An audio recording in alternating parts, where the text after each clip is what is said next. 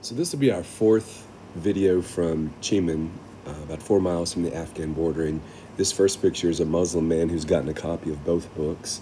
And this is a copy of the picture of a woman is getting these copies of the books. She had been a Hindu and six years ago received Jesus, and now she's asking for copies and receiving prayer for more of her family, other heads of Hindu families to spread the word.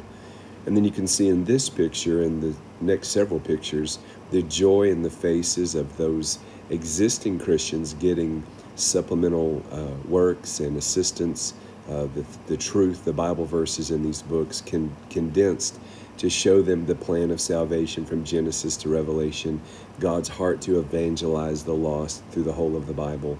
And then, of course, anybody that's dealing with sickness in their world or themselves can find divine health and healing in every book of the Bible from Genesis to Revelation. And it's just a joy to see that three pronged attack, uh, you know, wisdom strategy uh, reach the Muslims, reach the Hindus, and then uh, supplement and encourage the Christians that are already there.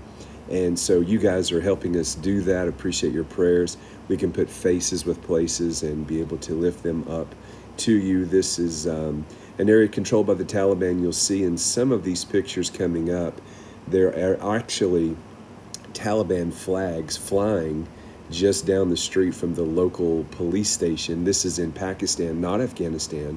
Uh, I'll let you do the math on that, but this is an area that's uh, heavily um, fortified uh, through prayer the last few days at least uh, against the demons of darkness and the uh, intrusions of those kinds of things.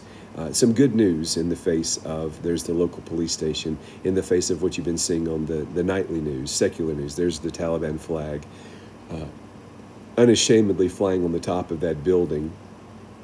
And then you'll see another picture of, picture of it here in just a second. And there, our team is driving by and seeing the Taliban on the streets, snapping the pictures of the flags to just kind of show you.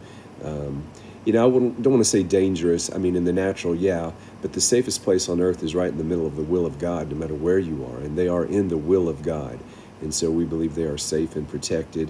And I uh, was up late last night praying for them, and and um, they greatly appreciative. So they sensed a lot of favor on their time there, and I can see that with.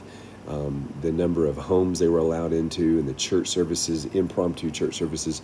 You can see the next generation here getting the books. Um, it, that girl right there would be, if she were in Afghanistan, she would be snatched up by the Taliban to be a child bride.